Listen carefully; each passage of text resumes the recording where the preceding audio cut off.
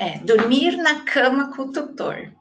Então, é, a primeira coisa que eu preciso abordar é: você quer isso? Não por, só no começo, mas ao longo de anos? Né? A primeira pergunta que eu faço para você é essa: se isso é uma vontade sua. Se todo mundo está de acordo, não pode brigar, né? Um quer, outro não, então isso acaba precisando entrar num acordo, tá?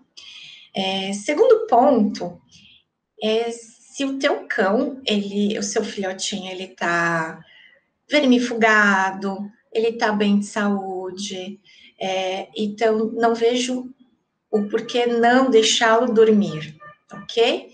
E, e, o que que acontece?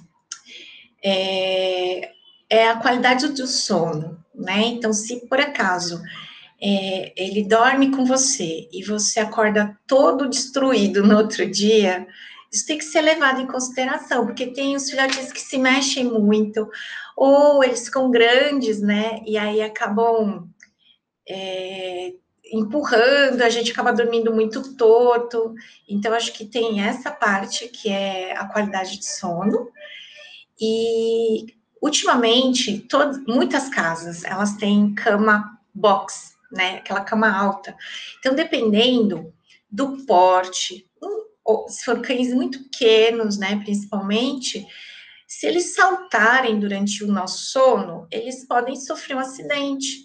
Pode se machucar, pode ser algo pequeno, mas às vezes pode ser algo grave, é, pode ser até uma fratura, né? Então, existe sim um risco, dependendo da, da altura, do cãozinho se machucar ou até cair. Ele quis saltar, ou ele escorregou e caiu.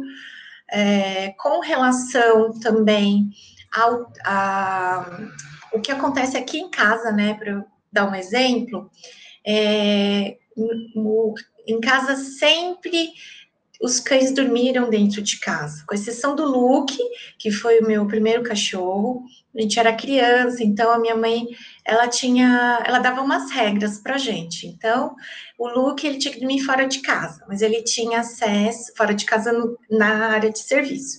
E ele tinha livre acesso durante o dia. Então, o que que acontecia? É, conforme foi passando o tempo, é, o Luke acabou é, podendo ficar o tempo todo dentro de casa e passou a dormir é, dentro de casa também.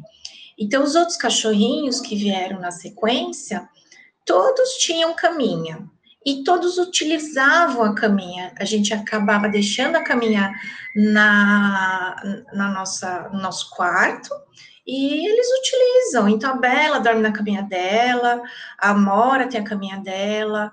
Se elas quiserem subir, podem subir, né? Eu não tenho, é, mas o sono, ele é diferente. Então, para elas também, porque né, elas acabam tendo essa preferência, e aqui em casa elas escolhem onde elas querem ficar. Então, não adianta um dia você quer que ele durma, outro dois dias eu não quero, aí depois é, passa a colocar ele lá na, lá na área de serviço para dormir, tudo muito radical, tá? Isso não é legal, porque o cãozinho ele, ele, ele gosta de rotina, né? Então, por isso que a decisão de colocar ele na cama, ela precisa ser bem pensada, tá? Tem que ficar é, todo mundo confortável. Então, às vezes você fala assim, ah, eu prefiro então que o, a caminha fique ao lado da minha cama e ele durma ali, ele vai estar seguro também, confortável, e você também vai estar.